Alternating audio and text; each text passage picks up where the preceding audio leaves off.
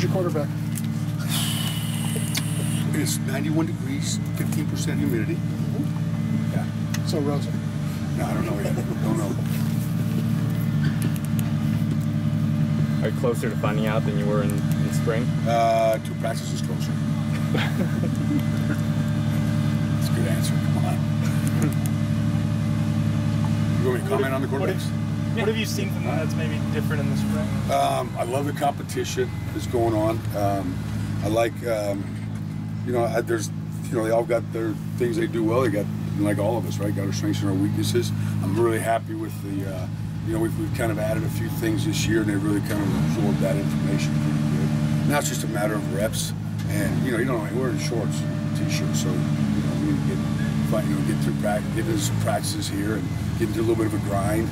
Um, you know, start you know getting some situations where you see who performs the best. But they've been, I mean, they've been awesome. They've been very competitive. Does uh, Chris Clark being out change anything you were going to do with building a tight end in this? No, not at all. Uh-uh.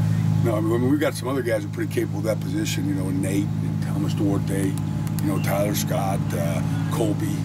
Um, so it's really been it's really been a lot of fun. You know, we've kind of going back to the old Joe Fauria days, right?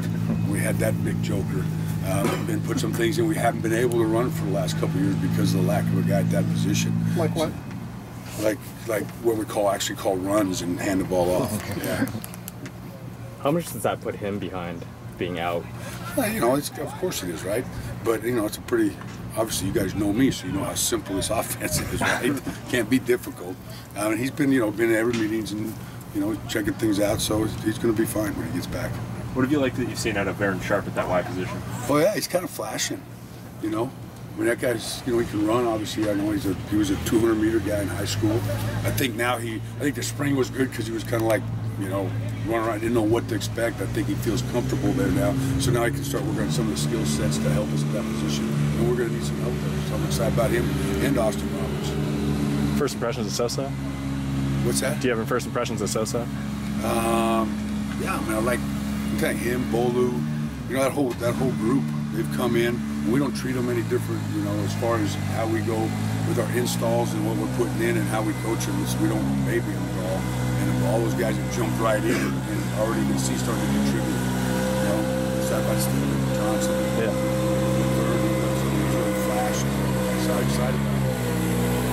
toying with kind of where Soso, where Soso can contribute the most on the field? No, no, I know exactly. Right. Okay. Yeah. He'll be that guy that we give the ball to. yeah. But no, I mean, I think all those guys got skill sets.